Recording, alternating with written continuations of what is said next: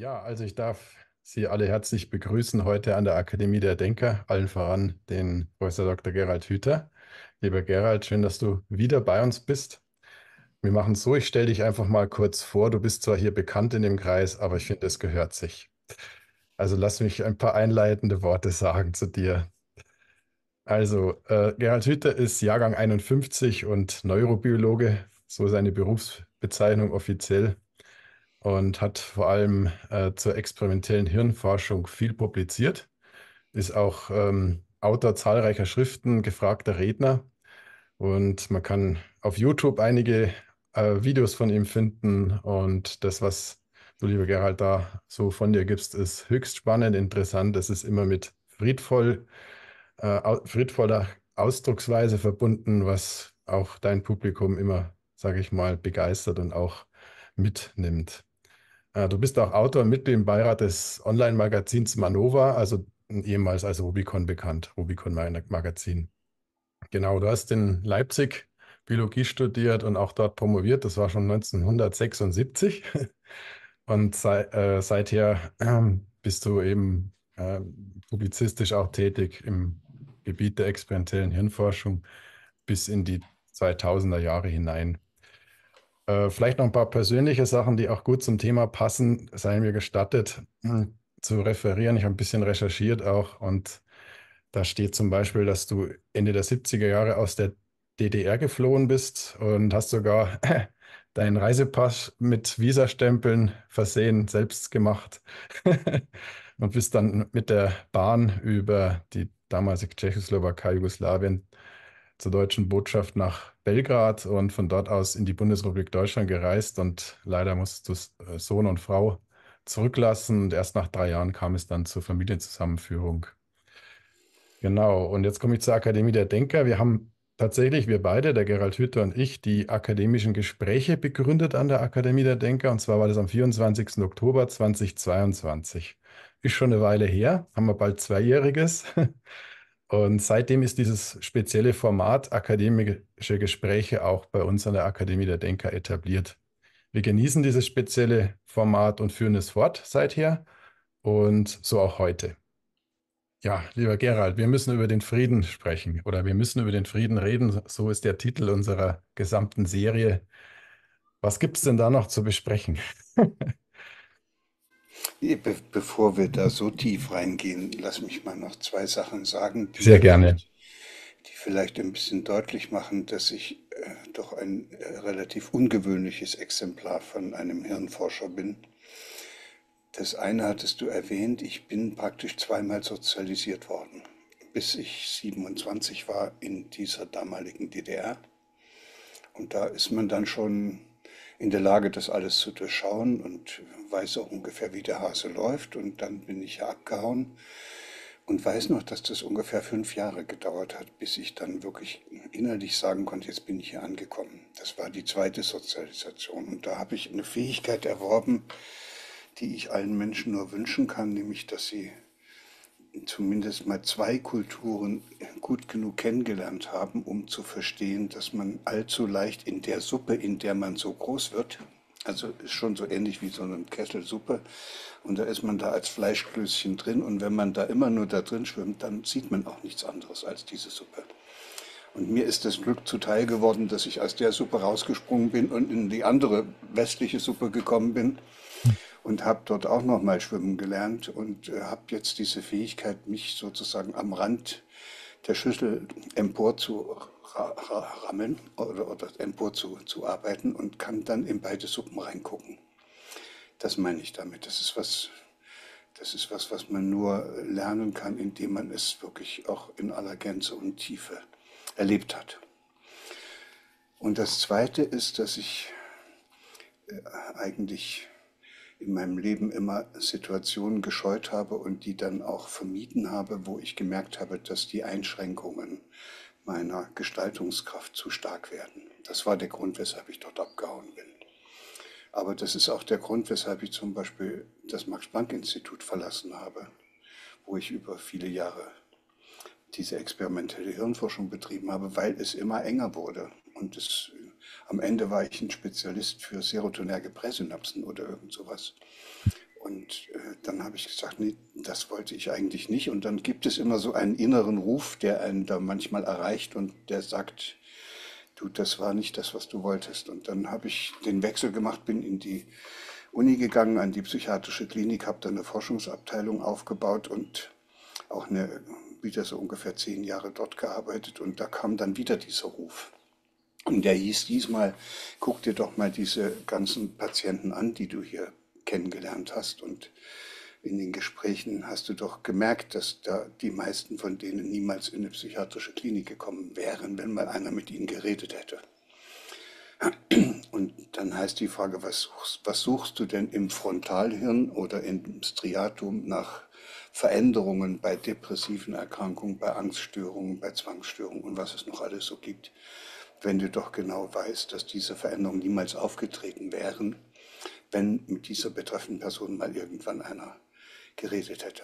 Also mit Reden meine ich wirklich eine echte Begegnung und, und äh, das Vermeiden dessen, was die meisten von uns ja alle erlebt haben, dass man oftmals schon in der Kindheit mit seinen Problemen alleine gelassen wird und dann kommt man eben auf sonderbare Ideen und Vorstellungen, weil irgendeine Lösung muss man ja finden. Und das hm. Bringt mich dann zu dieser, vielleicht jetzt in meinem, in meinem Alter und mit den Erfahrungen, die ich habe, unvermeidlichen Erkenntnis. Und wir haben so ein plastisches und formbares Hirn, da ist nichts festgelegt. Und das ist ja der Grund, weshalb Kinder, wenn man sie irgendwo aufzieht auf dieser Welt, wo Erwachsene überleben können, die Kinder können dann auch dort überleben und lernen alles, was sie dort brauchen. Ob im tropischen Regenwald oder oben bei den Inuit. Das wäre uns beiden dann auch so gegangen. Dann wären wir eben zwei kleine Inuits. Und, äh, und weil das so ist, dass wir dieses unglaublich formbare und zeitlebens lernfähige Hirn haben, ist, ist es eine, eine, sehr angenehme Vorstellung, dass wir uns alle einfach mal darauf besinnen, dass wir offenbar Suchende sind. Wer so ein formbares Ding da oben im, im Schädel hat, der, der kann nicht wissen, wie es geht. Das muss er erst unterwegs herausfinden als Suchender. Und das machen wir ja auch alle. Und zu diesem Suchen gehört, dass man sich verirren kann.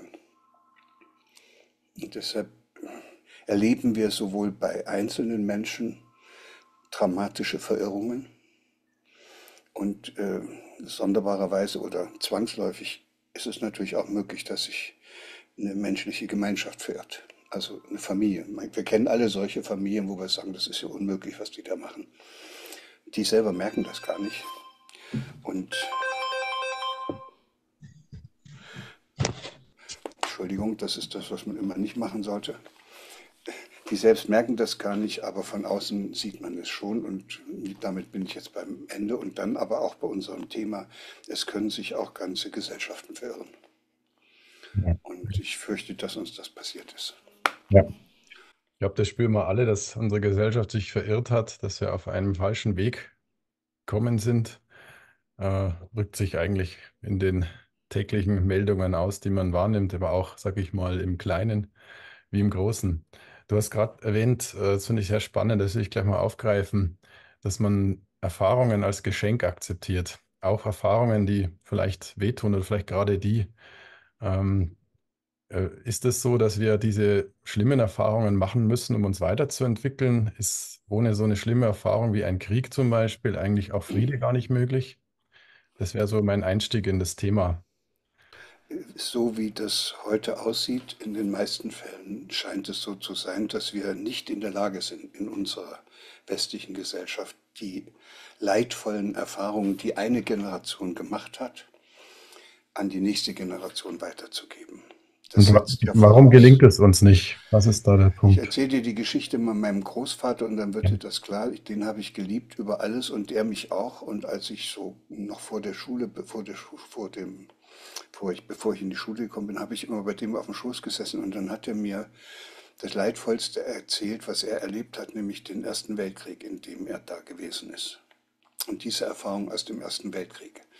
Aus dem Munde eines Großvaters zu hören, der das alles selbst miterlebt hat und der es einem erzählt, damit man, damit man versteht, was da passiert ist das führt dann dazu, dass das gelingt, was wir transgenerationale Weitergabe von Erfahrungen nennen. Dazu braucht es aber die Bindung und die emotionale Aufladung. Und das geschieht eben nicht, wenn wir unsere Kinder so groß ziehen, dass die erstens mit der alten Generation gar nichts mehr zu tun haben wollen.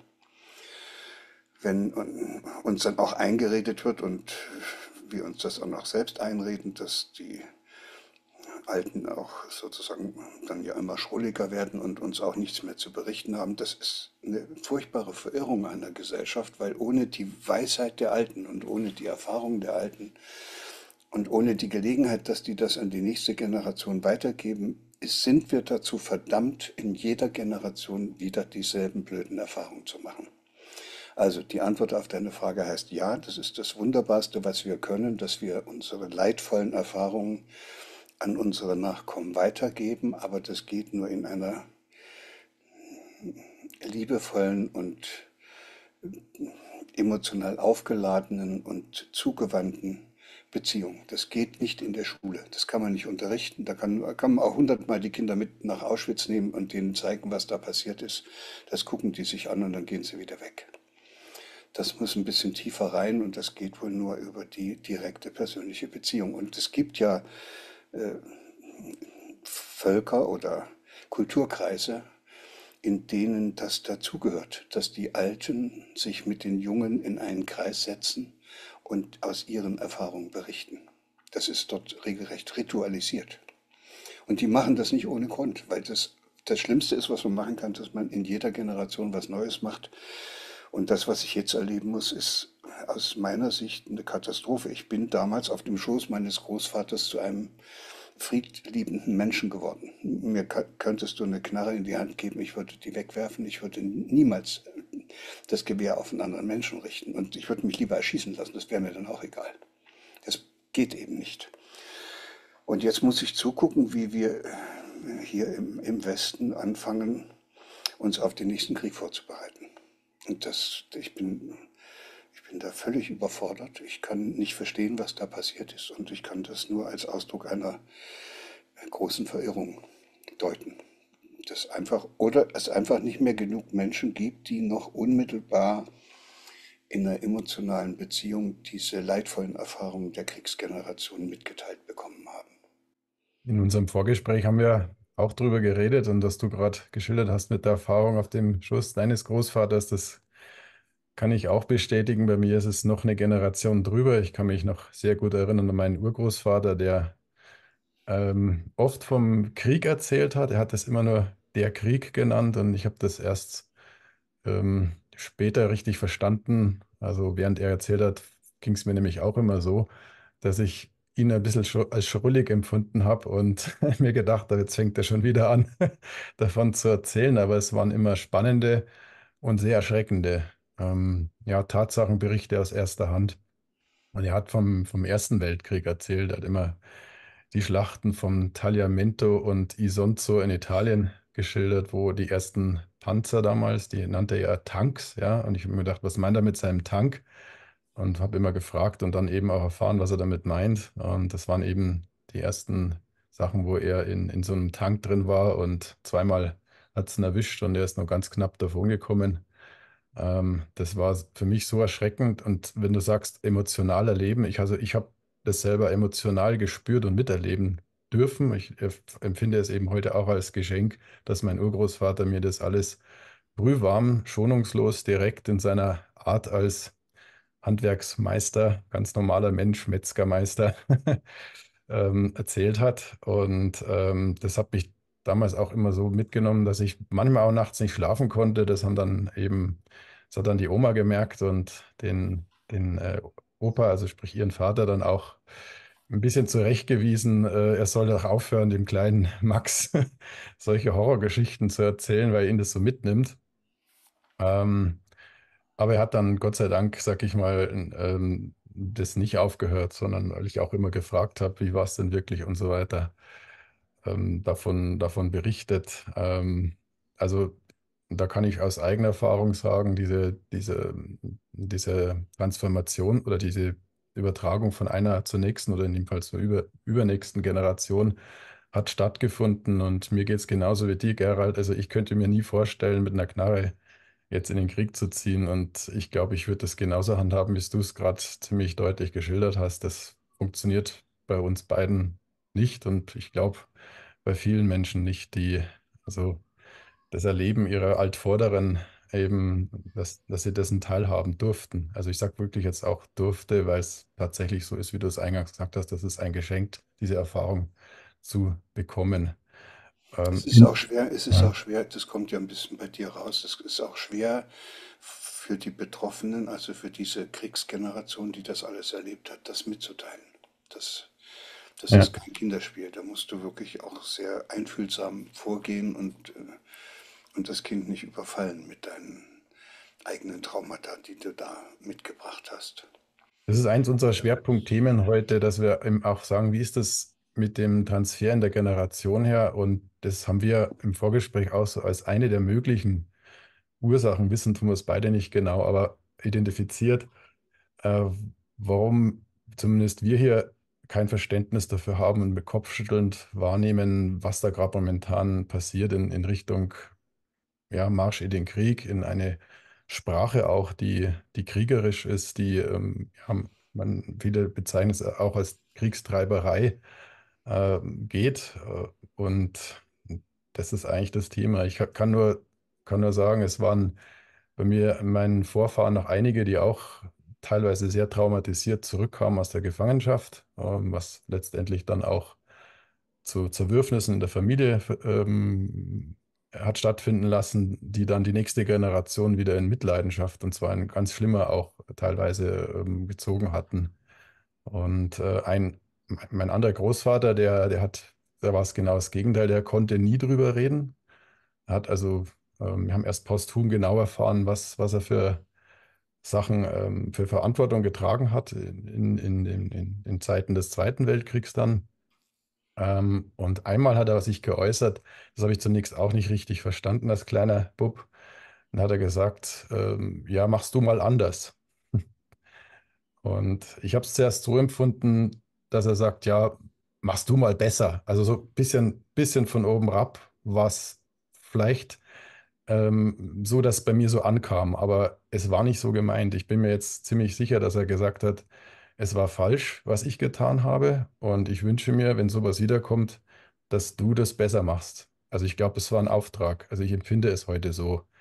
Ähm, und das sind jetzt zwei Beispiele, wo ich aus meiner Erfahrung sagen kann, ich habe das zunächst bei beiden nicht richtig verstanden und habe erst äh, ja, mehrfach drüber schlafen müssen, habe viele Jahre gebraucht, um auch das zu verstehen. Also was, was äh, können wir tun, wenn wir älter werden? Was können wir, also vor allem jetzt meine Generation, die ja in Frieden aufgewachsen ist und ähm, was können wir tun, um unseren Kindern ähm, das weiterzugeben? Funktioniert das aus, auch? Oder ich sage provokant als Frage, muss erst wieder ein Krieg kommen, über den man erzählen kann, live? Muss das wirklich so passieren? Ja, das ist die Frage, ob es uns gelingt, vielleicht auch mit solchen Veranstaltungen, deshalb erzählen wir uns ja diese Geschichten, ob es uns gelingt, äh, bei vielen Menschen ein Bewusstsein dafür zu wecken, äh, wie, wie Frieden gelingen kann.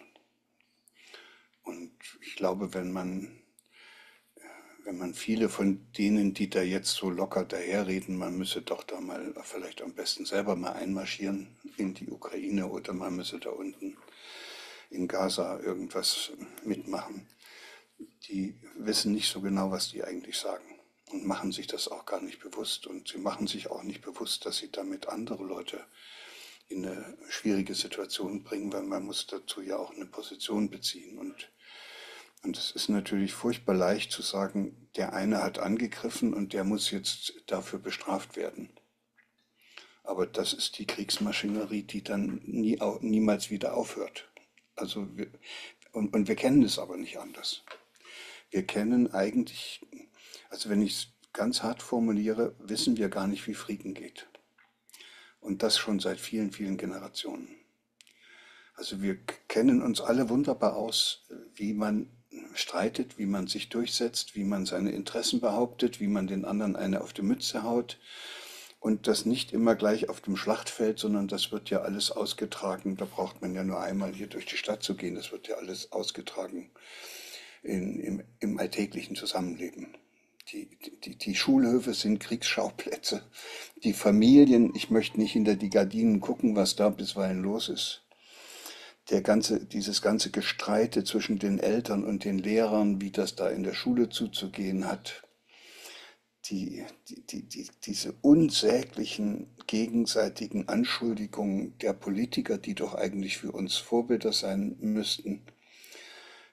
Überall ist sozusagen eine Rhetorik und eine Art des Umgangs miteinander anzutreffen und beherrscht auch das ganze Geschehen, die im Grunde genommen kriegerisch ist. Also äh, ist gut geeignet für eine Generation und für eine, für eine Gesellschaft, die sich auf den Krieg immer wieder vorbereiten musste. Aber wenn wir Frieden wollen, dann müssten wir unsere Kinder lehren, wie Frieden geht und nicht, wie man sich auf Kosten von anderen durchsetzt und seine Interessen auf Kosten von anderen behauptet. Und wie Frieden geht, ist, ist nicht unser Ding. Also das können, das, das können viele gar nicht. Ich glaube auch nicht, dass mein Großvater gewusst hat, was wie er, was er hätte machen können, damit, damit Frieden herrscht. Das Einzige, was ihm eingefallen ist, er hat es mir gesagt, dass das so wichtig ist. Das ist ja auch schon immerhin was. Aber das ansonsten, ist, das ist viel, ja. Ansonsten fehlt uns als Gesellschaft die Erfahrung der Friedfertigkeit im, im täglichen Zusammenleben. Und die Kriege sind gewissermaßen immer nur die Spitze des Eisberges, der Vulkan, der oben ausbricht, aber unten drunter qualmt, qualmt, und rumort es ja schon die ganze Zeit. Warum, also die zwei Fragen, die sich da anstehen, ist, warum ist das so und was müsste auf Programm sein in der Gesellschaft, gerade wenn du sagst bei den Kindern, dass man eine Friedfertigkeit erziehen können? Also erstmal die Ursache, wo, woher kommt das? Also wie ist es denn dazu gekommen, dass es, dass wir das, dass wir keine Übung im Frieden haben? Also ich, ich versuche es mal ganz an der Wurzel. Und weil mit diesen ganzen Phänomenen, die unterwegs auftreten, die man alle schön beschreiben kann, kommen wir, glaube ich, auch nicht mehr so richtig weiter. Das könnte sein, dass wir in der westlichen Gesellschaft so eine Art Kardinalfehler äh, eingebaut haben und dieser Kardinalfehler heißt, wir reden uns die ganze Zeit ein, dass es darauf ankommt, einen Zustand, einen anstrebenswerten Zustand zu erreichen. Also das Glück oder den Lotto, also den Reichtum oder den Erfolg. und Einfluss und Erfolg und Zielerreichung das, und mhm. das Haus, was wir da bauen wollen und die glückliche Ehe und also ständig wird uns von anderen eingeredet und wir selbst auch reden uns das ein und das von Kindesbeinen, dass es darauf ankommt, Zustände zu erreichen. Hm. Das ist ein Thema, also dieses, das ist eine Überschrift, die haben wir eigentlich so definiert, auch im, im Vorgespräch als zweiten Kernpunkt neben dem Thema Generationenübertragung der Erfahrung, eben dieses Jagen nach Zuständen, ähm, nach Zielen, äh, die alle her sind, die gut klingen, äh, die äh, in einer Gesellschaft wie heute als erstrebenswert vorgegeben sind. Ja. Du sollst erfolgreich sein, sprich erfolgreicher als andere. Ja, also die, und, und dann erreichst du einen Zustand, der dich glücklich macht. Es funktioniert aber nicht. Jeder kann es aus seiner Erfahrung sagen. Wenn man ein Ziel jagt, das erreicht hat, dann fällt man wieder in ein Loch und muss sich das nächste Ziel stecken. Das ist das, was eigentlich Programm ist. Also so werden wir programmiert. So bin ich auch programmiert worden und stelle selber fest, dass ich aus dem Programm auch ähm, meine Schwierigkeiten habe, da auszusteigen. Über das mit dem Programmieren müssen wir nachher nochmal reden, weil es gibt niemanden, der dich programmiert. Du programmierst dich selbst. Aber du wirst in Bedingungen geworfen und dort aufgezogen, wo dir gar nichts anderes übrig bleibt, als auch genauso zu denken wie die anderen. Aber das, ist schon der halbe. Deine eigene, Über das genau, deine eigene ist, Überzeugung, das, dass du hier ja. irgendwie ein tolles Haus haben musst und ein tolles Auto mhm. und die große Karriere und was noch alles. Das ist deine eigene Überzeugung. Das hast du das haben dir andere vielleicht vorerzählt und so, aber am Ende hast du es ja selbst geglaubt und machst dich dann auf den Weg, versuchst das zu erreichen. Und jetzt kommt es eben mit dem Problem, also das ist auch so alt wie die Menschheit fast. Also da wollten sie, am Anfang wollten sie, das steht noch im Alten Testament, ins gelobte Land. Also irgendein Zustand, da wollten sie hin, da haben sie geglaubt, da wäre es endlich besser. Dann wollten sie ins Himmelreich und weiß der Kuckuck, wo sie überall hin wollten. Und in der letzten Zeit wollen, materialisiert sich sozusagen das etwas mehr, dann wollen sie alle reich werden, eine Segelyacht haben oder keine Ahnung. Und diese Dinge, die man dann so anstrebt, die sind ja nicht in, in, in unbegrenztem Ausmaß vorhanden. Das heißt, wenn ich jetzt wirklich ähm, sehr viel Geld haben will, muss ich das anderen wegnehmen. So, und jetzt hast du die Antwort auf diese Frage, woher der Krieg kommt.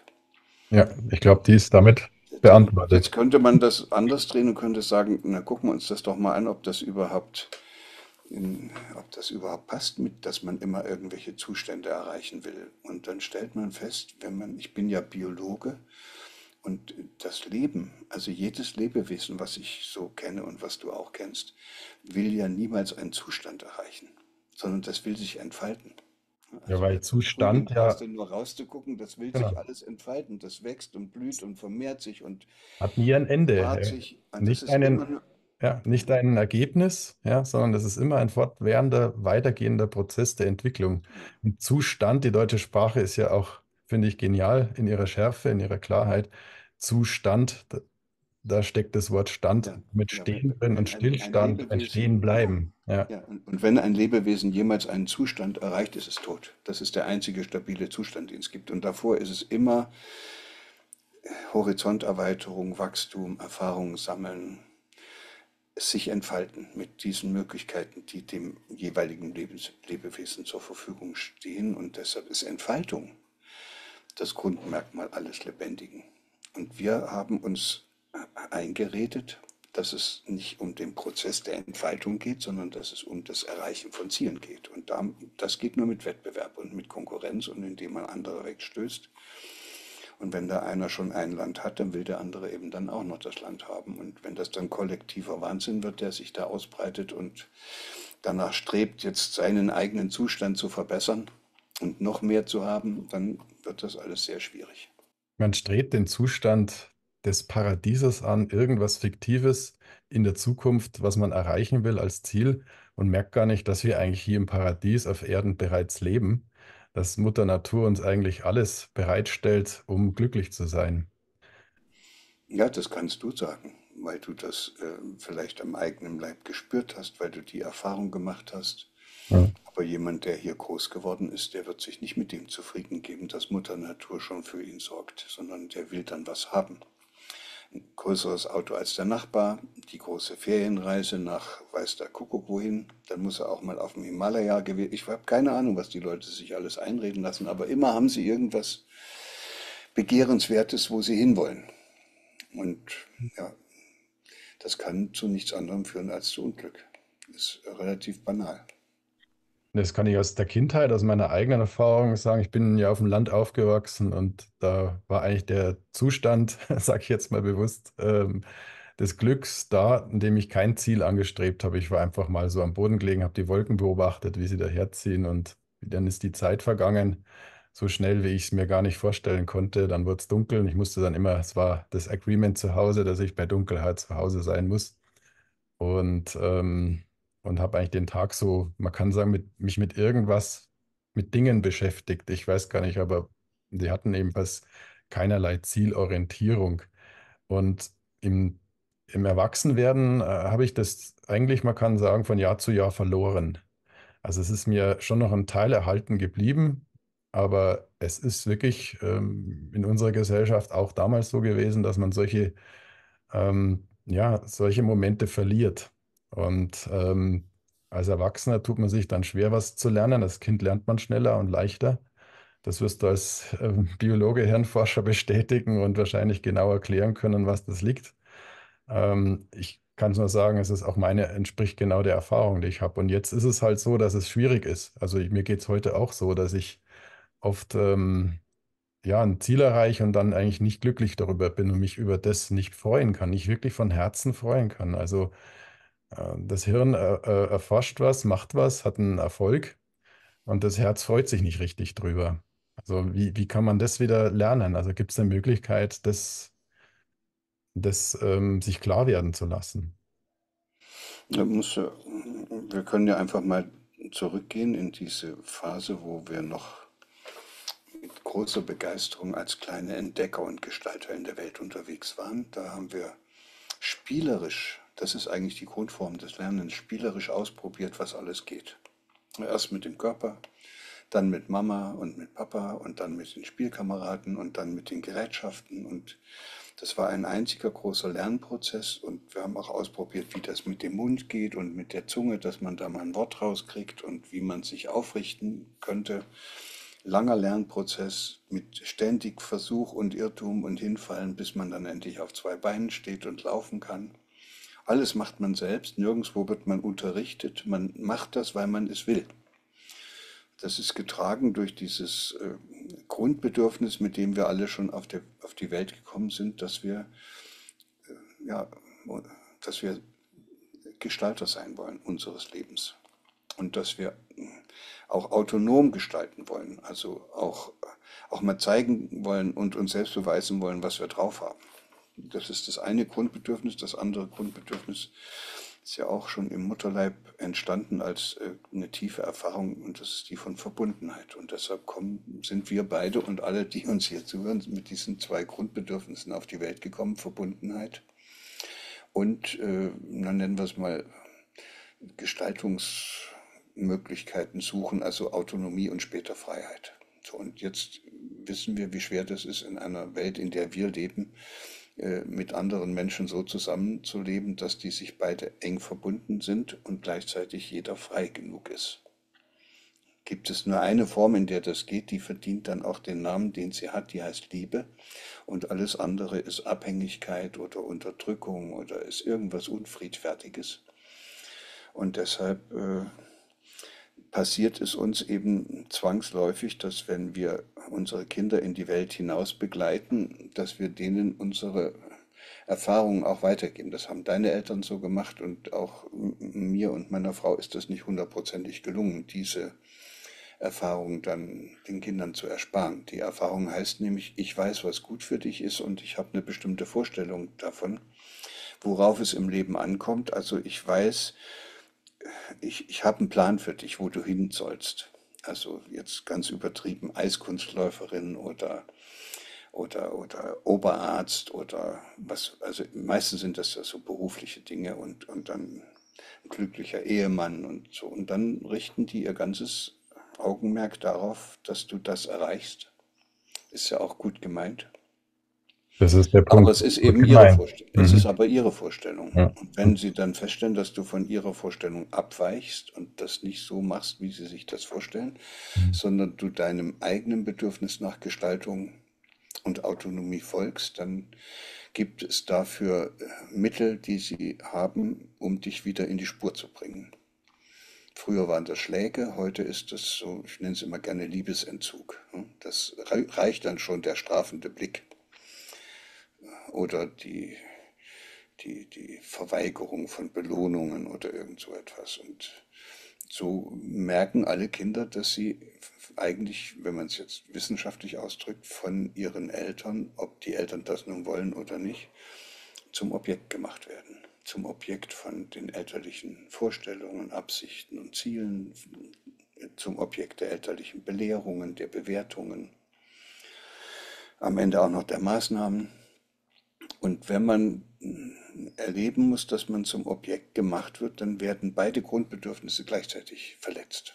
Also dann, wenn jemand an mir rummacht und sagt, dass ich ihm so, wie ich bin, nicht recht bin, dann spüre ich, dass der nicht mit mir verbunden ist, sondern dass der mich benutzt, um seine eigenen Absichten und Ziele zu verwirklichen.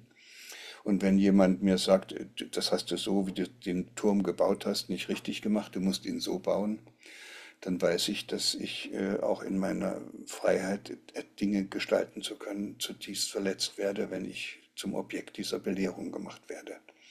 Und das ist hirntechnisch das Schlimmste, was passieren kann. Das erzeugt eine so tiefreichende Inkohärenz, also ein Durcheinander, äh, das wahrscheinlich kein Mensch überleben kann und als Kind sowieso nicht. Und dann muss man eine Lösung suchen. Und das machen die Kinder gar nicht bewusst. Die Lösung fällt dem Hirn sozusagen von alleine ein. Und, die, dann, und dann kennen wir die Lösung. Man guckt sich ja als Kind schon um, wie andere das machen, und dann macht man es so wie die anderen. Sagt man, blöde Mama, macht die also auch zum Objekt, wunderbar. wenn einer auf dem Sandkasten dann mit dem anderen nicht klarkommt, haut er ihm eine auf die Nuss. Es, so wie das Erwachsene machen, so machen das dann die Kinder auch und äh, setzen entweder ihre Interessen durch auf Kosten von anderen, machen also andere wieder zum Objekt, dann sind wir in der nächsten Generation dieser, dieser Strategieumsetzung, oder aber es gibt auch welche, die das nicht so gut können und die machen sich dann selber zum Objekt. Die sagen, ich bin blöd, ich kann das nicht, ich bin nicht schön genug, ich bin nicht liebenswert genug und dann, das ist eine Art von Selbstverletzung, die richtig tief geht. Und manche kommen da das ganze Leben lang nicht wieder raus aus dieser Lösung. Es ist immer eine Lösung. Es ist erst dieser einmal gefundenen Lösung, dass sie den Schmerz über die Tatsache, dass sie wie ein Objekt behandelt werden, dadurch überwinden, indem sie sich selbst zum Objekt machen. Und wenn dann einer kommt und sagt, du bist aber blöd, dann sagt das Hirn, ja genau, weiß ich doch. ich bin blöd. Dann, dann tut das bestätigt, nicht ja. Deshalb ist das eine Lösung. So, mhm. Das ist das, was wir uns ins Hirn bauen. Das ist vielleicht so eine der größten und schönsten Erkenntnisse, zu denen ich da gelangt bin. Das, was im Hirn verankert wird, sind nicht die Probleme, sondern die Lösungen. Und die Lösung, die wir hier seit äh, Generationen für die Konflikte gefunden haben, die wir haben, wenn wir alle so bestimmte Dinge erreichen wollen, das ist äh, Gewalt und Durchsetzung auf Kosten von anderen. Das ist nichts anderes als ein anderes Wort für Krieg. Und das Gegenkonzept ist die Überschrift Liebe.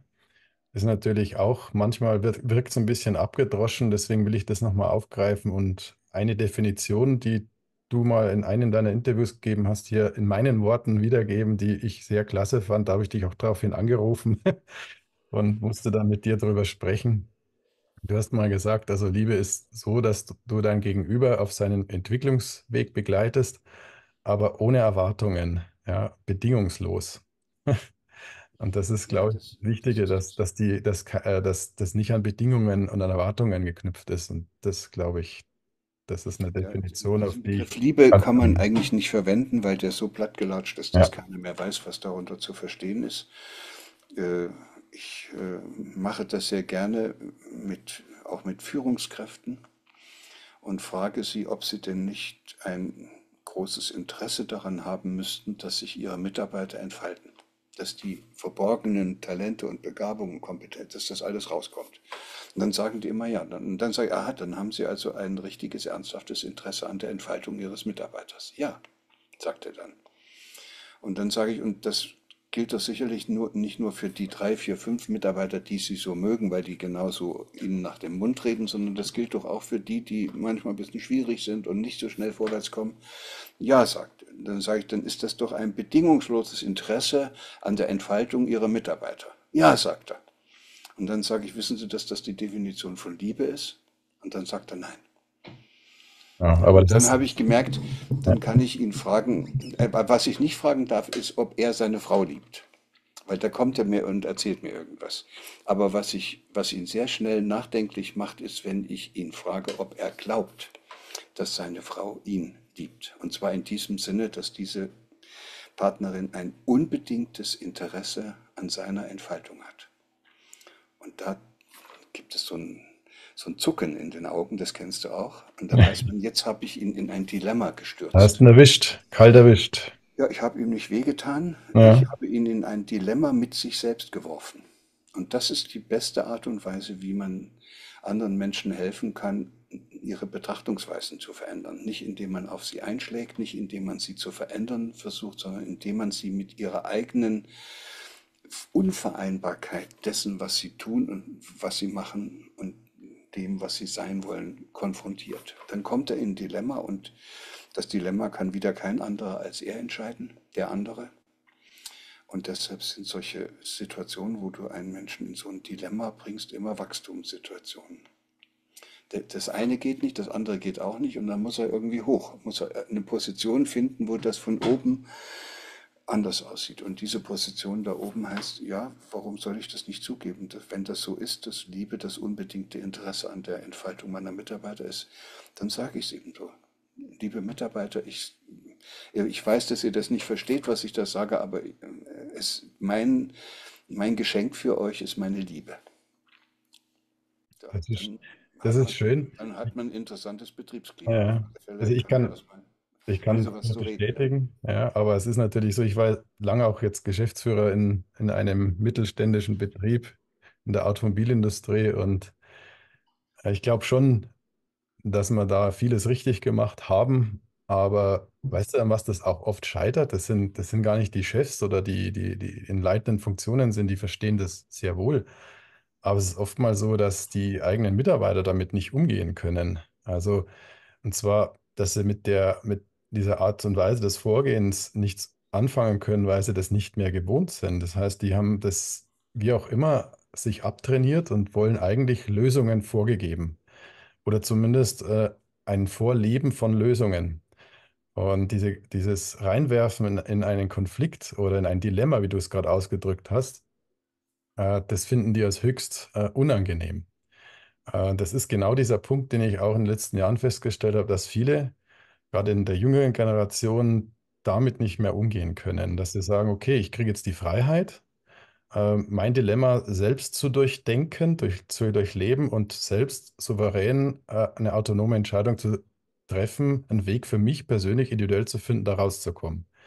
Ähm, das wäre wünschenswert, aber meine Beobachtung ist, dass das oft nicht stattfindet, sondern dass gerade in Situationen, wo man in ein Dilemma gerät, so unter Druck und Stress gerät, dass man sagt, okay, und jetzt brauche ich jemanden mit Autorität. Und die schreien dann ganz laut nach dieser Autorität. So habe ich es auch in meiner Firma erlebt. Äh, und wer soll die geben? Ja, das soll der Chef geben. In dem Fall halt ich. Ja, ich sollte das quasi denen vorgeben. Und ähm, ich habe mich dessen immer wieder mal verweigert. Also das hat schon bei manchen funktioniert. Die sind dann auch in der Firma geblieben, haben sich entfaltet. Also ich glaube, ich hatte wirklich in meinem Ingenieurbüro die schrägsten Vögel, die man sich nur vorstellen kann. Aber das waren wirklich Leute, die im wahrsten Sinne, im besten Worte Querdenker waren, die wirklich auch mal über den Tellerrand blicken konnten. Und das war eigentlich das Erfolgsgeheimnis. Da haben wir auch ähm, letztendlich viel, viel äh, gewonnen dadurch, jetzt auch monetär. Ja? Also Aufträge und äh, Gehälter, die bezahlt wurden, wo Familien ernährt werden konnten davon durch diese Art und Weise. Aber ich würde jetzt mal behaupten, vier Fünftel äh, konnten, das, konnten damit nichts anfangen. Ja? Also und ein Fünftel ähm, hat da sehr gut was damit anfangen können und die sind dann auch längerfristig geblieben. Also das Rezept geht schon auf, aber es ist meiner Erfahrung nach nicht bei jedem möglich. Das mag stimmen, aber das kann ja nicht heißen, dass es auch richtig ist. Ja. Also die Erfahrung ist sicherlich zutreffend, aber dass es nicht möglich sei, dass ein Mensch sich auch noch mal ändert, halte ich für ein Gerücht. Und was man natürlich aber braucht, damit man überhaupt mit dem anderen in so einen Prozess kommt, ist erstens, dass du aufhören musst, den ändern zu wollen. Das ist vielleicht das größte Übel, was wir alle haben. Wir, wenn wir den anderen ändern wollen, dann machen wir ihn zum Objekt unserer Änderungsabsichten. Das kann nicht funktionieren. Da hat er genügend Mittel und Wege gefunden in seinem Leben, oftmals schon als Kind, um sich dem zu verweigern. Also hören wir bitte alle auf, jemanden verändern zu wollen und finden wir uns damit ab, dass der Einzige, der sich verändern kann, eben diese andere Person ist. So, und jetzt hat diese andere Person im Laufe ihres Lebens, das haben wir ja vorhin be besprochen, immer wieder erleben müssen, dass sie was gestalten wollte. Und dann sind welche gekommen und haben gesagt, nee, so muss es machen. Und dann haben sie für sich den, Gest und das kann man ja nur aushalten. Also wenn ich jetzt so einen Gestaltungsdrang habe, hm, will unbedingt was bauen und dann kommen dauernd welche, in der Schule ist das ja dann über zehn Jahre ständig so, dass ich immer das machen soll, was andere mir sagen.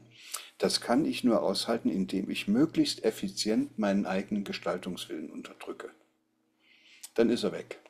Dann kann der andere mir sagen, mach das so und dann mache ich es so. Ich frage nicht mehr, es regt sich auch in mir nichts mehr. Und die Mitarbeiter, die du da beschreibst, diese vier, vier von fünf, das sind welche, die sind unter ungünstigen Bedingungen, die sie leider vorgefunden hatten, dazu gebracht worden, ihren eigenen Gestaltungsdrang zu unterdrücken. Und das passiert immer dann, wenn jemand anders kommt und sich sozusagen an die Spitze stellt und vorgibt, was zu tun ist. Und das ist in diesen hierarchischen Ordnungsstrukturen ja immer der Fall. Da ist immer einer da, der oben sitzt und sagt, was die unten zu machen haben. Und damit ist äh, eine Situation, wo der Mitarbeiter oder derjenige, der dann zum Objekt dieser Anordnung gemacht wird, eigentlich gar nicht mehr anders kann, als seine eigenen Gestaltungsabsichten zu unterdrücken. Und das geht nicht so gut nur in Bezug auf dieses. Dann könnte man sagen, okay, ich will im Betrieb nichts mehr gestalten, aber zu Hause im Garten.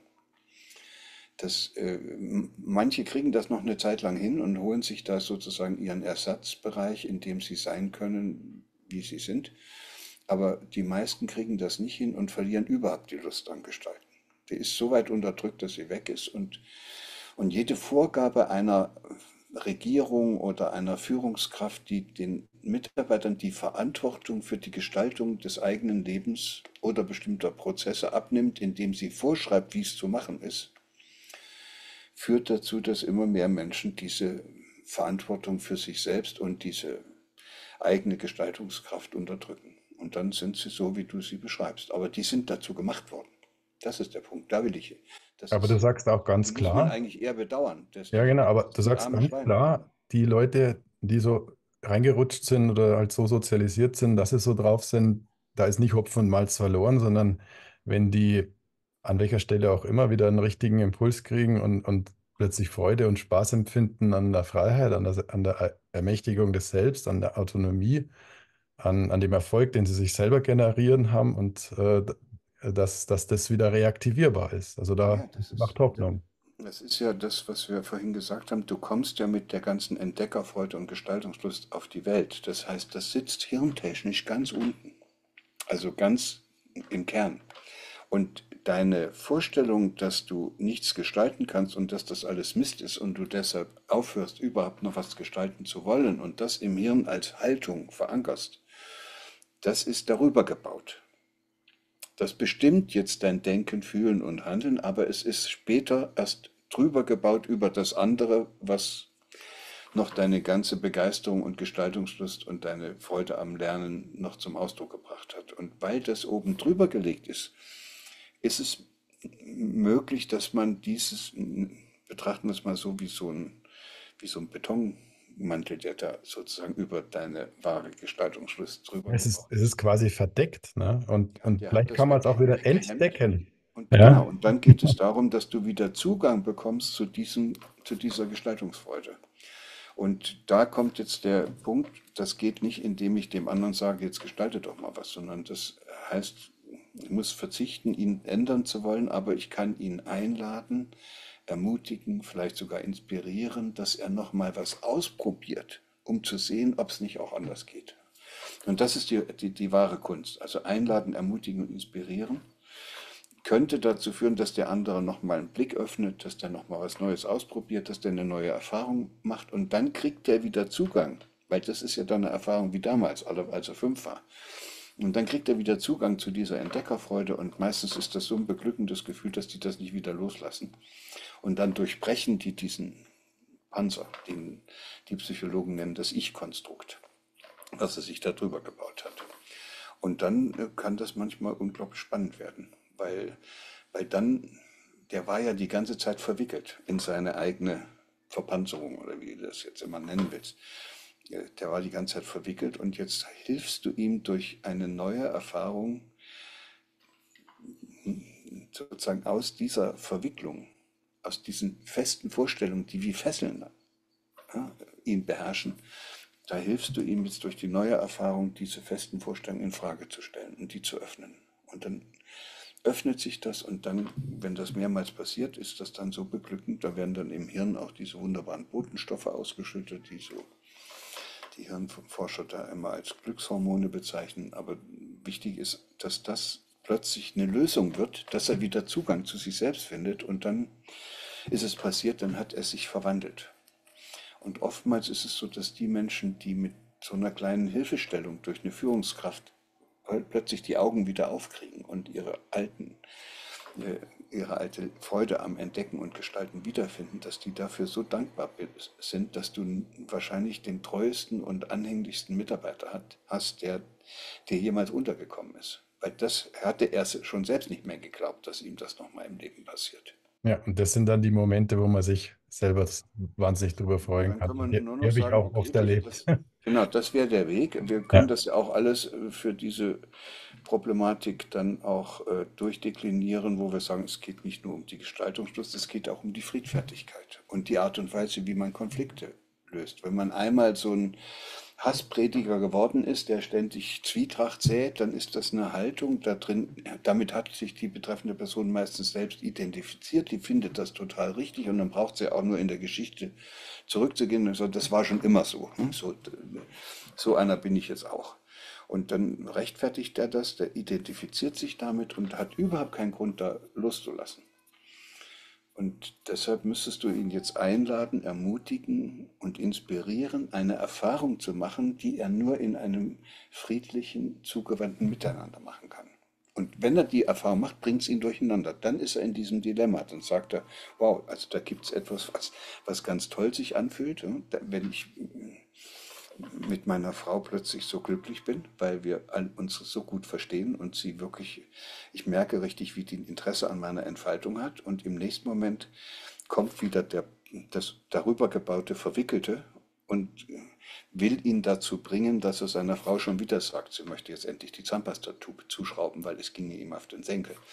So, und dann hat man plötzlich eine Situation, wo der das für sich lösen muss und das lösen die Menschen eigentlich normalerweise immer so, dass äh, eine Situation entsteht, in der sie glücklicher sind. Also wo es auch leichter ist. Und dieses ganze Gekämpfe mit anderen ist furchtbar schwer. Das führt ja von einer Belastung in die nächste und von einem Problem zum nächsten, währenddessen Friedfertigkeit als Haltung, äh, ja, ist ja ganz leicht. Da fällt dir alles zu, da hast du was zu verschenken. Da musst du nicht ständig irgendwie andere anbetteln, dass sie dir was geben. Du musst auch nicht ständig deren Aufmerksamkeit und deren Respekt und deren was weiß ich was einfordern, sondern du bist kein Bedürftiger mehr, weil du deine Bedürfnisse jetzt äh, stillen kannst und weil du dich wiedergefunden hast. Und deshalb geht es eigentlich nur mit Einladen und da wollte ich jetzt eigentlich hin und einladen kannst du aber diesen bescheuerten Mitarbeiter, der dir da dauernd in der Quere steht, nur dann, wenn du ihn magst. Das sage ich jetzt mal so richtig laut, weil das gilt ja für alles. Gilt für Lehrer und ihre Schüler, das gilt für Eltern und ihre Kinder, das gilt auch für Eltern und deren Eltern, für Nachbarn, die einem auf den Senkel gehen, für Mitarbeiter, die einem stören. Wenn du wirklich möchtest, dass der sich ändert, kannst du ihn einladen, aber du wirst ihn nur einladen können, wenn du ihn magst. Sonst geht's nicht. Du kannst niemanden einladen, der dir wurscht ist. Du musst ihn mögen. Also du musst ein, ein Interesse daran haben, dass er sich entfalten möge, dass er aus seiner engen Perspektive rausfindet. Und vielleicht ist das die richtige Antwort auf die Frage, warum wir so eine kriegerische und auch von Machtkämpfen durchtränkte Lebenswelt uns geschaffen haben, nicht nur auf den Schlachtfeldern, sondern eben überall in unserem täglichen, alltäglichen Zusammenleben. Schlammschlachten, überall, in den Medien. überall. So. Da Ja. braucht man sich nicht, was soll so eine Gesellschaft anders machen, als am Ende mal wieder einen richtigen Krieg. Ich hatte mal so ein Hm. nettes Interview gehört, das war ein Literaturwissenschaftler und der wurde von einer Journalistin gefragt, und was halten Sie vom Gendern? Und dann sagte der, was soll ich denn vom Gendern halten? Also wir hatten schließlich seit 80 Jahren keinen Krieg mehr. Da war die vollkommen fertig. Ich sagte, was, was soll denn das jetzt heißen? Ich sagte, ja, die Menschen können nichts anderes als Krieg und wenn kein richtiger Krieg mehr ist, dann erfinden sie irgendwas, worüber sie sich streiten können. Und da war es aus, das Gespräch. Das fand Ja. ich die in- intelligenteste Antwort auf diese ganze Problematik, die mir Ja, das trifft es eigentlich voll auch. Das ist auch voll unser Thema hier an der Akademie der Denker. Wir müssen über den Frieden reden. Ich bin davon überzeugt, dass auch die Akademie der Denker genau so eine Plattform bietet, ein Angebot macht. Und wir haben ja in unserer Mission drin, wir wollen die Menschen zum eigenständigen Denken inspirieren. Ja, also wir verlangen nicht, ihr müsst eigenständig denken oder denkt doch jetzt mal nach oder sowas, sondern die Inspiration wieder da sein, die Freude daran haben, wenn man Erfahrungen sammelt, die Offenheit, vielleicht auch neue Erfahrungen zu bekommen. Also die, die Möglichkeiten gibt es hier, aber, und das ist genau was, was du auch ausdrückst, Gerald, so kommt es bei mir jedenfalls 100% an. dass das jedem selber ähm, auferlegt ist, das zu tun und nicht auferlegt werden kann von jemandem anders. Es muss jeder selber entscheiden. Der muss wieder in diese, in diese, in die Lust, in den Spaß reinzukommen, äh, eine Erkenntnis zu kriegen und auf dem Weg der Wahrheitssuche, wo es keine Wahrheit gibt oder Wahrheit ein relatives Feld ist, wie einer unserer Mitdozenten das auch immer ausdrückt, ähm, kommt man zu einer individuellen Erkenntnis draus. Und wenn man daran Freude entwickeln kann, dann ist man, glaube ich, wieder auf einem friedvollen Weg. Ja, wenn ich das richtig verstehe, ist die Akademie der Denker ja im Grunde genommen ein, ein Frame, also das ist ein Erfahrungsraum, den ihr geschaffen habt und zur Verfügung stellt und wohin ihr die Menschen einladet. Dann können Genau. die rein und dann können die das nutzen. Und diejenigen, die reingehen, nutzen es ja dann auch. Und diejenigen, die da keine Lust drauf haben, die sollen bleiben, wo der Pfeffer wächst. Das ist, kann einem dann auch egal sein. Ich kann nicht mehr machen, als jemand einladen. Wenn der dann findet, dass das doof ist, dann muss er irgendwas, dann ist das auch das falsche Angebot für ihn. Ja, diejenigen, die diese Einladung wahrnehmen, finden es gar nicht doof. Das ist zumindest das, was ich wahrnehme als Rückmeldung. Aber es zu schaffen, dass diese Einladung von bisschen mehr Leuten auch angenommen wird, ist wirklich schwierig. Ähm, ja, aber damit müssen damit wir muss man leben. abfinden. Ja, das ja. ist das, was ich gelernt habe in den letzten Jahren. Der Anteil von Menschen, mit denen man konstruktiv zusammenarbeiten kann, die also ein wirkliches Interesse an der Entfaltung des anderen haben, der ist leider verschwindend gering. Ja, vielleicht können wir durch so ein Gespräch und hier auch mit unserer gesamten Gesprächsreihe auch dazu beitragen, dass Menschen wieder neugierig werden, dass sie sagen, okay, jetzt höre ich mir das mal an und bin da mal offen und werde da jetzt wohl Erfahrungen sammeln, ähm, wo ich das Ergebnis nicht vorher kenne, wo ich nicht einen Zustand anstrebe, um diese Worte von dir aufzugreifen, sondern einfach mal, ja, mich mit Dingen beschäftige und schaue, was passiert und was da an, an Gefühlen auch dabei aufkommt und wie ich die, wie ich mit denen dann umgehe persönlich. Haben wir so eine gute Dreiviertelstunde gesprochen miteinander und die, die Agenda abgehakt ein bisschen. Also wir hatten ja auch ein kleines Vorgespräch dazu. Ähm, vielen Dank nochmal an der Stelle für das Zwiegespräch.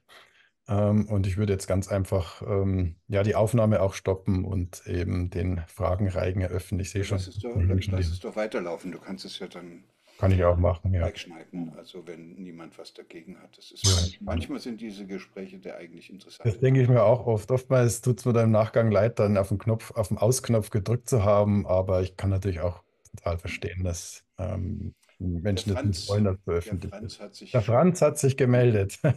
ja, ich mache mal wieder den Anfang. Sehr gerne, Franz. Ja, äh, Herr Hüter, vielen Dank für den äh, sehr inspirierenden Vortrag. Äh, in vielen Teilen kann ich Ihnen in Ihren Ausführungen gerade zum Thema Friedfertigkeit, zum Thema Ermutigen, Inspiration sehr gut folgen. Ich war Manager bei Audi ich habe viele Menschen begleiten dürfen in ihrer persönlichen Entwicklung. Äh, von meiner Art und Weise äh, zu führen, äh, äh, haben sie mir viele Dinge aus dem Herzen genommen. Gleichwohl habe ich aber aus Ihrem Vortrag äh, doch so ein gewisses, ja, un, nicht Unbehagen, aber Unverständnis, weil es aus meiner Sicht so ist, ich habe nicht so viele negative Erfahrungen gemacht mit Mitmenschen, wie Sie sie geschildert haben. Also mein Erleben ist positiv mit vielen Mitmenschen. Gleichwohl weiß ich, dass nicht jeder Mensch die gleiche äh, Inspiration oder Mut oder Motivation aufbringt, wirklich gestalten wollen in seinem Leben. Das muss man lernen. Das ist eine harte Schule, da bin ich völlig bei Ihnen. Was ja, ich aber zum Thema, gesagt. Das habe ich gar nicht gesagt. Ich habe gesagt, man, man ist ein Gestalter und kommt als Gestalter auf die Welt, jeder. Was man braucht, ist, äh, oder was man gar nicht gebrauchen kann, ist, dass man vorgeschrieben kriegt, was man gestalten soll, weil dann ja. bleibt einem nichts anderes übrig, als seine eigene ja. Gestaltungslust zu unterdrücken, solange bis sie weg ist. Ja, okay. Äh, also sagen wir mal so, die Menschen haben dann möglicherweise über ihren Sozialisierungs- und äh, Erziehungsprozess verlernt, äh, äh, selbst zum Gestalter zu werden. Ähm, aber was ich momentan in der Gesellschaft erlebe, dieses Thema zum Thema Krieg, äh, da sehe ich das eher so, dass der Mensch als soziales Wesen unter einem gewaltigen Anpassungs- und Sozialisierungsdruck aus einem Umfeld steckt, angetrieben von Ansagen, die ein Bruchteil der Gesellschaft macht, fortgepflanzt über die Medien, dann ausgebreitet in die Gesellschaft hinein. Und ich erlebe, dass es nur wenige Menschen gibt oder weniger als die Mehrheit, die diese Resilienz aufbringen, sich diesen Gedanken entgegenzustellen. Die meisten haben doch irgendwo aus dem Sozialisierungs- und Anpassungsdruck heraus die Flinte ins Korn geworfen, sich dagegen zu stellen, was wieder der Vernunft ist. Und die spielen da einfach irgendwie mit. Und das, deswegen kriege ich die Enden jetzt momentan für mich im Kopf nicht ganz zusammen. Also bei dem gehörten heute aus dem Vortrag viel Übereinstimmung, aber das erklärt für mich nicht dieses Phänomen, vor dem wir momentan stehen. Äh, es fühlt sich ja so an, als wäre die Gesellschaft diejenige, die diese Kriegswilligkeit mitbringt. Das sehe ich nicht so. Ich sage, das sind wenige Menschen, die die anderen in diese Kriegslüsternheit hineintreiben. Und wir haben zu wenig Resilienz im Sinne von kritischem Denken, dass man sich da dagegen stellt. Ja, auf Bayerisch heißt das, glaube ich, zu wenig Arsch in der Hose. Ja. Und das ist dann eine Frage der, muss man jetzt nicht unbedingt Resilienz nennen, aber das ist ja eine Frage, wie oft ich in meinem Leben diese Gelegenheit genutzt habe und wenn alle anderen rechts lang gegangen bin, sind die Link, bin ich links lang gegangen. Wenn alle anderen losgerast sind, bin ich stehen geblieben. Das nennt man auf Deutsch Eigensinn. Eigensinnige Menschen sind das Unbequemste, was eine Massengesellschaft brauchen kann.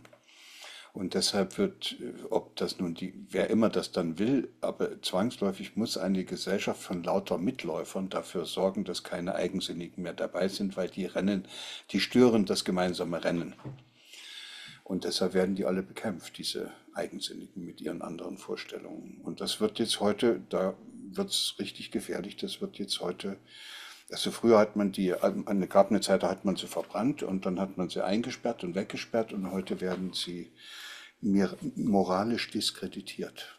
Mhm, ich, genau. ich habe recht, ich bin auf der richtigen Seite und du bist hier einer, der von Tuten und Blasen keine Ahnung hat und eine Vorstellung hat, die überhaupt nicht moralisch und ethisch und was weiß ich was Wert besitzt. Mhm. Und das, äh, dann muss man sich fragen, warum sich das so viele Leute gefallen lassen. Und genau. dann, mit, und dann mit, mittun oder das Maul halten und nichts dagegen unternehmen. Und die Antwort kann ich Ihnen sagen. Die haben alle Angst. Die wollen alle dazugehören. Das Bedürfnis nach Zugehörigkeit ist stärker als die, der innere Ruf nach Selbstbestimmung. Und den das kann ich sehr gut mitgehen, ja. Zugehörigkeit in diesem Sinne, dass man bereit ist, alles zu tun, nur damit die anderen nicht an einem rummeckern und dass sie also einen auch wertschätzen und was man da so alles sagt. So ein dringendes Bedürfnis nach Zugehörigkeit hat nur jemand, der ein schwacher Mensch ist. Also der leider, naja, der, der, der, der verunsichert ist, der, der ein bisschen ängstlich ist, der sich in der Welt nicht so richtig zurechtfindet, der nicht genug Kompetenzen besitzt, der nicht genug gelesen hat, der nicht genug gebildet ist, wo es sozusagen an allen Ecken und Enden fehlt, beginnt die, wenn man es hart sagt, die Lebensuntüchtigkeit oder aber beginnt die Unfähigkeit, mit der Unsicherheit des Lebens umzugehen. Diese Vorstellung, man könnte alles kontrollieren, ist ja der helle Wahnsinn. Das kann ja nur ein mhm. völliger Idiot behaupten. Und, und, und an sowas kann ja nur einer glauben, der vom Leben gar nichts versteht. Das Kennzeichen von, von Leben ist Unkontrollierbarkeit, ist Unsicherheit, ist immer wieder was Neues. Und das ist das, wovon wir leben. Wenn, wenn, wenn wir alles im Griff hätten, würden wir völlig verblöden. Wir brauchen immer wieder dieses, dass es schon wieder nicht mehr passt und dass es schon wieder anders ist. Ohne Eigenbrötler und eigensinnige Leute ist eine Gesellschaft verloren. Das wird ein Haufen von lauter Mitläufern. Und da sind wir jetzt im Augenblick, gebe ich Ihnen recht, sehr dabei. Und bringen dann nichts anderes mehr fertig, als diejenigen zu diffamieren, die uns nicht passen. Und dann entsteht eine Polarisierung. Und die brüllen sich dann alle nur noch gegenseitig an. Mhm. Die einen sagen dann ihr linken Schweine und die anderen sagen ihr rechten Extremisten. Dann kann ich sagen, dann, wenn, wenn das dann der, der Kommunikationsstil einer Gesellschaft geworden ist, dann ist sie auch am Ende. Das ist ein Zeichen, dass es hier nicht mehr richtig weitergeht. Und dann wäre die Frage, wie kann man das wieder zusammenbringen? Genau. Und da gibt es auch in der Geschichte genügend Beispiele. Krieg, also ein gemeinsames Ding, was man jetzt macht. Eine große Katastrophe, wenn wir jetzt hier plötzlich einen Vulkanausbruch hätten, würden sie wieder alle zusammenhalten. Wenn wir einen Krieg machen, halten sie auch wieder alle zusammen. Äh, und viel mehr fällt uns dann schon nicht mehr ein. Was könnte, was könnte denn, was müsste in einer Gesellschaft passieren, dass die Menschen merken, dass sie doch eigentlich alle das Gleiche wollen? Dass, sie, dass das doch totaler Blödsinn ist, hier ständig den anderen zu diffamieren und den sozusagen zum Objekt seiner eigenen Absichten und Belehrungen und sonst was zu machen. Und dann stellen wir fest, wir wissen nicht, was wir als Menschen auf diesem Planeten eigentlich gemeinsam wollen. Das ist die Sinnfrage. Und die ist richtig mhm. gut. Und die tut richtig weh.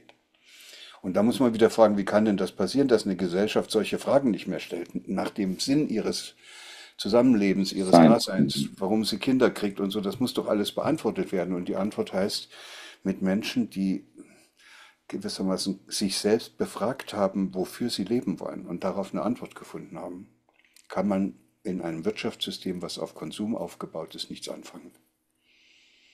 Du brauchst ja verführbare Leute, die nicht wissen, worum es geht, damit du denen alles aufschwatzen kannst. Und wenn einer weiß, was ihm im Leben wichtig ist, dann kümmert er sich darum. Und wenn es die Briefmarkensammlung ist, aber den kriegst du nicht von seiner Briefmarkensammlung weg. Und dem kannst du auch nicht versprechen, er bräuchte zu seinem Lebensglück nun auch noch ein tolles Auto. Da lacht er dich aus. Also Menschen, die gefunden haben, wofür sie leben wollen, sind nicht mehr verführbar. Das ist Mhm. Glaube ich, sehr gut. Es Sehr tut gut alles ein nochmal. bisschen weh, wenn man das so Ja, das ist, denkt, aber es nützt ja nichts. aber das führt uns genau in das Ja. Dilemma, das wir brauchen, die, die klare Aussage. Wir haben noch zwei Mhm. weitere Wortmeldungen. Ich achte ein bisschen auf die Zeit. Wir haben noch, ähm, wir haben noch Zeit. Ja. Danke. Also im Gegensatz zum Franz, ähm, der mit so, einem- mit so einem Fragezeichen jetzt gerade aus diesem Interview rausgegangen ist, ist bei mir jetzt genau das Gegenteil passiert. Bei mir hat sich jetzt gerade wieder ein, ein, eine Lücke geschlossen, denn ich musste jetzt unmittelbar denken an unseren Mitdozenten, den ähm, Professor Franz Ruppert, den Psychologen, wahrscheinlich ja auch Ihnen bekannt. Ja. Ähm, und wenn ich Sie jetzt richtig verstanden habe, ist es ja so, ähm, dass ein, ein friedliches Miteinander ja nur funktionieren kann, wenn wir zur Liebe, also sprich zu unbedingten Interesse des, der Entwicklung des anderen fähig sind.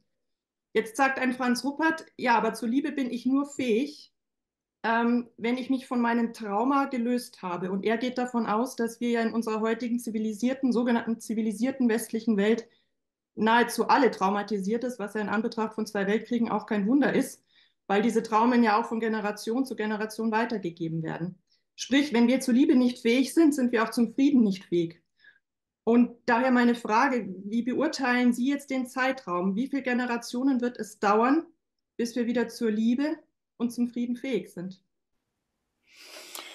Der, der äh, Franz Robert ist, ist ja Psychologe und Therapeut und deshalb kann der das viel leichter alles einbinden in das Konzept der Traumatisierung. Ich mache das nicht. Ich vermeide auch diesen Begriff, weil ich aus einer Schule komme, wo man unter Trauma und Traumatisierung und der daraus sich herausbildenden posttraumatischen Belastungsstörung etwas sehr Umschriebenes, dass das verstanden hat. Und das hieß, da geht es wirklich um Leib und Leben und es ist eine Situation, die man mit nichts und allem, also wo man völlig hilflos ist. Und dann geht es, dann wird es traumatisch. Das ist ja für die meisten Menschen nicht der Fall, dass es vollkommen in die Hilflosigkeit geführt hat, sondern was sie erlebt haben, ist, dass sie zu Objekten gemacht werden. Und dafür müssen sie, das kann man jetzt auch Trauma nennen, habe ich ja vorhin auch gesagt, das ist schon ziemlich heftig, was da im Hirn durcheinander kommt. Und dafür müssen sie eine Lösung finden. Und die Lösung, haben wir gesagt, äh, besteht darin, dass sie ihre wahrhaftigen Bedürfnisse unterdrücken. Und, äh, und das führt dann dazu, dass sie alle möglichen Ersatzbedürfnisse herausbilden, die man gut nutzen kann, um ihnen was zu verkaufen, um sie für irgendwas zu überreden. Und diese Menschen bleiben aber dann ein Leben lang Bedürftige, weil die ihre tatsächlichen Grundbedürfnisse ja nicht stillen können. Und die erkennt man daran, die bedürftige Menschen erkennt man daran, dass sie immer von anderen was haben wollen. Und äh, dann gibt es einzelne Menschen, denen es gelingt, aus dieser Bedürftigkeit herauszufinden. Ich nenne das immer, das passiert dann, wenn man wieder in Kontakt kommt mit diesen Anteilen, die schon früher mal unten drunter im Hirn angelegt gewesen sind. Und es passiert dann, wenn man wieder anfängt und es einem gelingt, liebevoll mit sich selbst umzugehen.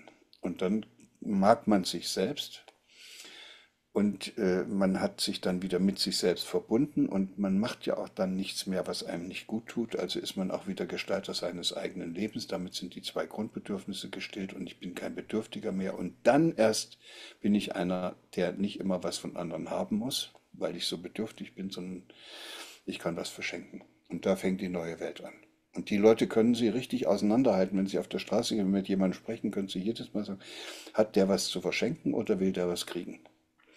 Und 90 Prozent wollen was haben. Leider. Aber vom Zeitraum her, wie lange wird das dauern, dass das so diesen Switch macht, dieses Umdenken? Das geht nur über Generationen und das würde nur dann möglich sein, wenn es jetzt einer Elterngeneration gelingt, Kinder großzuziehen, die nicht mehr diese Bedürftigkeit haben. Und deshalb, es könnte in einer Generation gehen, aber ich fürchte, es geht nicht in einer Generation. Im Augenblick fürchte ich ja sogar, dass wir das Problem überhaupt nicht richtig lösen können und dass wir das Feld denen überlassen, die ganz besonders bedürftig sind und deshalb ganz besonders viel Macht und Einfluss brauchen und die deshalb auch gerne bereit sind, in den Krieg zu ziehen. Nicht mit dem Gewehr, aber als Wortführer. Verschaffen sich auf diese Weise Anerkennung bei allen, die Angst haben, mit ihren klaren Worten und ihrer klaren Ansage, was jetzt zu passieren hat. Und wenn das nicht passiert, dann geht die Welt unter, kann man alle Menschen dazu bringen, dass die dann sagen, okay, der wird aber recht haben, er wird es schon wissen. Ja, vielen Dank. Margareta hat sich gemeldet. Bitte gerne Mikro einschalten und sprechen. Ja, Mikro müsste an sein, oder? Hört ihr mich ja, okay. Erstmal ganz herzlichen Dank, Herr Hüter. Wir sind oder besser gesagt, ich bin ein Mühe jünger als Sie. Wir haben die gleiche Sozialisierung, nur bei mir lief es nicht ganz so glatt. Äh, ich kann mich noch an mein Studium an der TU Dresden erinnern, in der Fachrichtung konstruktiver Wasserbau. Und äh, meine Erlebnisse sind dahingehend, dass ich doch regelmäßig zum Rapport musste, weil ich nicht so ganz auf der Linie geschwommen bin. Ich habe dann einen anderen Weg gewählt. Wir sind also auch Anfang der 80er Jahre, allerdings mit drei Kindern, zwei Teddys, einer Puppe und einem Koffer, haben wir dann das Land verlassen, um in die Freiheit zu gehen. Und äh, es war sicherlich die richtige Entscheidung. Nur was ich damals feststellen musste, dass Freiheit irgendwie äh, in dem anderen Teil des Landes gleichgesetzt worden ist mit Disziplinlosigkeit. Natürlich nicht generell, aber doch verstärkt. Und ähm, es war die Überheblichkeit vorhanden, es war mehr Schein als Sein. Und ich musste natürlich auch feststellen, dass ich ein super Studium hingelegt hatte, das mich im anderen Teil Deutschlands sehr viel weiterbrachte als Frau. Aber das ist nicht das Thema. Das Thema, was ich heute habe, ist einfach, ich möchte das gerne als Appell verstanden wissen. Ich habe noch Städte erlebt, äh, in denen es noch Ruinen gab.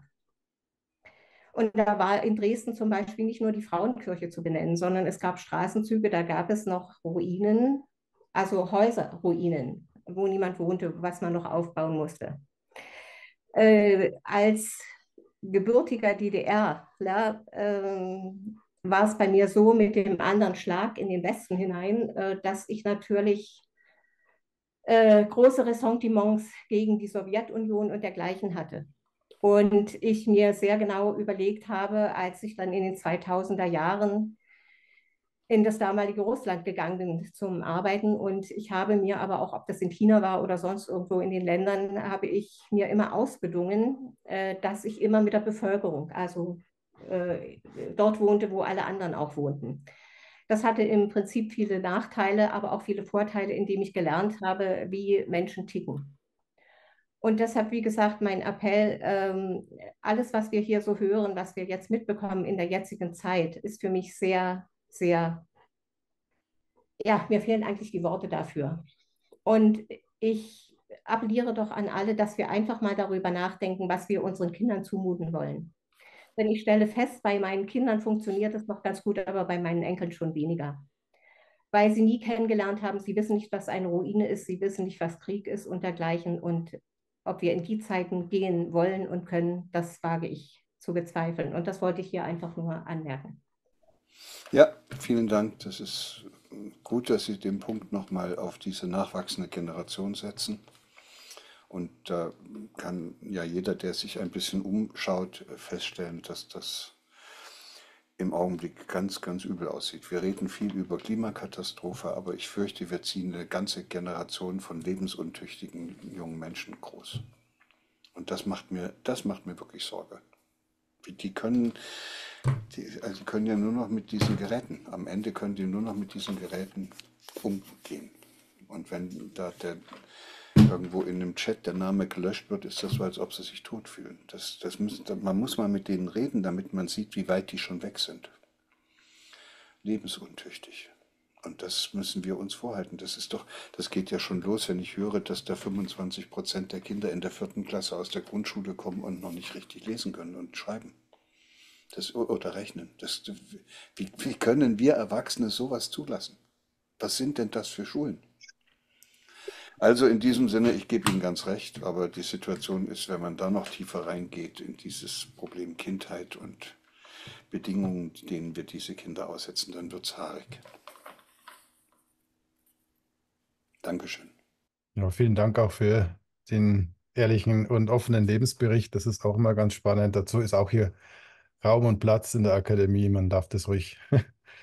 Und vielen Dank für die Offenheit an der Stelle. Ich habe noch eine Wortmeldung vom Thomas und dann würde ich auch schon sagen, wenn keine weiteren Wortmeldungen sind, wir haben jetzt noch acht Minuten bis acht. Ähm, Thomas, bitte Mikro einschalten und sprechen. Jawohl, vielen Dank für die Wortmeldung. Ich hoffe, ich bin zu hören. Sehr gut. Erst einmal, ich, ich, ja, erst einmal meine Vorrednerin, die Margareta, die hat ja schon zum Teil das angesprochen, was ich auch sagen wollte. Und zwar, ich bin Baujahr 1970 und meine Eltern sind dementsprechend lange davor geboren und kommen beide aus dem Raum Ostpreußen, Allenstein, Olsztyn. Ne, das ist ja heutiges Polen, damals war das Deutschland gewesen und haben die Vertreibungswelle mitgemacht. Und äh, mir wurde damals als Kind zwar nicht viel erzählt, aber ich habe dann trotzdem, als ich etwas älter geworden bin, rausgekitzelt, was ist denn damals alles zugestoßen. Das heißt also, ich gehöre noch zu der Generation, denen zumindest erzählt worden ist, was wirklich Krieg bedeutet. Ja, ich möchte ja nicht groß ins Detail gehen, aber genau das vermisse ich heute in der ganz großen Diskussion. Denn heute kommt mir das wirklich alles so vor, als wenn das ein virtueller Schaukampf ist, den man irgendwie am Computer macht. Aber der wirkliche Krieg bedeutet dass ich die alte Oma in die Brennnessel schmeißen muss, dass sie nicht vergewaltigt wird. Der wirkliche Krieg bedeutet, dass er kleine Mädchen nicht vergewaltigt wird und so. Das braucht man gar nicht alles groß auszuhöhlen. Ja? Sie verstehen das. Und das möchte ich dazu am Schluss dazu sagen. Das wäre vor 20 Jahren, wäre das noch nicht möglich gewesen, das äh, so anzuzetteln, wie das heute ist. Denn damals, vor 20 Jahren, haben noch einige von der alten Generation gelebt, leben heute nicht mehr. Heute ist das Wissen verloren gegangen. Leider ist doch nicht in den Schulen weitergebracht worden. Und nur deswegen ist das möglich, dass heute die Kriegstrommel wieder so gerührt wird. Vielen Dank für das Wort, für die Wortmeldung. Danke, Thomas. Noch eine Wortmeldung, Irmgard, bitteschön. Und Danke. Sehr gern. Ähm, ich bin eine Nachkriegsgeneration 1950 habe aber weder Erzählungen noch sonstige Vorbilder als Abschreckung vor dem Krieg erlebt. Wie erklären Sie sich, dass es Menschen gibt, die ohne diese Erzählungen und ohne diese Vorbilder trotzdem zu denselben Schlüssen kommen wie Sie? Es gibt ja zwei Möglichkeiten, was zu lernen. Das eine ist aus dem Leid und das andere aus der Art und Weise, wie einem das gelingt im Leben. Das ist die schönere Art und Weise. Also zum Beispiel haben wir ja alle gelernt, wie man auf zwei Beinen geht, indem wir es immer wieder ausprobiert haben. Und das war eines der schönsten Glücksgefühle, dass wir das endlich irgendwann hingekriegt haben. Und so kann man, wenn man so ein Glück hat wie Sie, unter Bedingungen groß werden, wo Menschen diese Art von Friedfertigkeit mitbringen und wo man diese Erfahrung macht, dass man auch anders miteinander umgehen kann als ständig im Konflikt und im, im Widerstand. Nein, nein, ich hatte, ich hatte eher das negative Beispiel. Und trotzdem komme ich zu denselben Schlüssen wie Sie. Ja, das ist die, dann haben Sie sozusagen in Ihrer unmittelbaren Umgebung den Krieg als familiäres Ereignis erlebt, als, als Dauerereignis. Also diese Art von Streiterei und äh, Theater, was ich da vorhin auch genannt habe, wo wir sagen, diese Schlammschlachten finden überall statt und die haben sie dann erlebt und da ist meistens ein junges Mädchen, da, das das miterleben muss, so angewidert davon, dass es sagt, ich möchte da nicht dazugehören. Okay. Und dann, dann, sucht man sich seinen eigenen Weg und das ist dann auch sehr aufrecht und sehr ehrlich, weil dann ist auch ein schönes Beispiel dafür, dass sie da auch niemanden gebraucht haben, der ihnen das zeigt, sondern sie haben es selbst rausgefunden. War ein steiniger Weg. Glaube ich Ihnen. Und äh, es ist uns aber allen auch ein bisschen nochmal eine Mahnung daran, dass es in jedem Menschen irgendetwas gibt. Ich nenne das immer manchmal der innere Ruf oder die innere Wahrheit, irgendetwas, was ihn zurückruft, wenn er etwas beobachtet oder etwas tun soll, was gegen diesen inneren Ruf verstößt. Und das ist natürlich in einer Welt, in der sehr viele Menschen diese innere Stimme unterdrücken, damit sie das machen können, wo, wo sie meinen, wo es drauf ankommt, damit sie erfolgreich sind und, und ihre, ihre Ziele erreichen, dann müssen sehr viele Menschen diesen diese innere Stimme unterdrücken. Und ich bin mal jetzt ganz frech und sage, das ist eine Art von Selbstverletzung, aus der man sich nicht wieder erholt. Wenn meine innere Stimme mir sagt, du bitte bleib stehen, das ist hier nicht gut, wenn die alle losrennen und ich gehe dann, laufe mit, dann äh, kann ich das nur, indem ich meine innere Stimme unterdrücke und nicht mehr auf sie höre. Und das ist dann so, als ob ich mir einen Arm abschneide. Und da, solche Leute, glaube ich, sind diejenigen, die dann am Ende auch die Frage nicht beantworten können, ob sie sich selber mögen. Das mache ich manchmal, frage, mögen sie sich eigentlich selbst? Und was ich dann häufig höre, ist, ja, ja, natürlich. Und dann frage ich, warum? Und dann kriege ich Erfolge äh, vorerzählt, was sie alles geschafft haben. Haus und Frau und Kinder und keine Ahnung. Und dann merke ich, die wissen gar nicht, die reden, was die mögen, sind ihre, ihre Erfolge aber sich selbst kennen die gar nicht. Den, sich selbst haben sie so tief vergraben, dass sie gar nicht mehr rankommen. Und das ist sehr traurig, weil ich glaube, dass nur Menschen, die sich selber mögen, auch friedfertige Menschen sind. Jemand, der sich selber nicht leiten kann, kommt auch mit anderen nicht zurecht. Jemand, der selber verwickelt ist, verwickelt auch immer nur die anderen. Jemand, der den Frieden nicht selber in seinem Herzen trägt, kann immer draußen auch nur Krieg machen.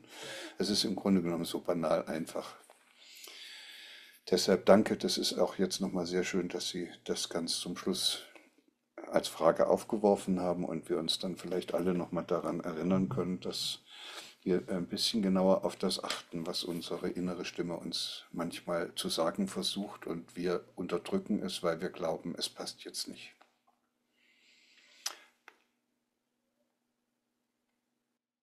Ja, also ich glaube, das war jetzt auch das richtige Schlusswort.